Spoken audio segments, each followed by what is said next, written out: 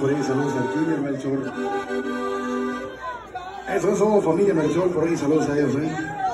Vamos a echar por el tema, llegador. Melchor, thank you very much, man. Mr. Nick in the house. Nick with the house, come on. Mr. Nick, Mr. Cumbia Kings in the house.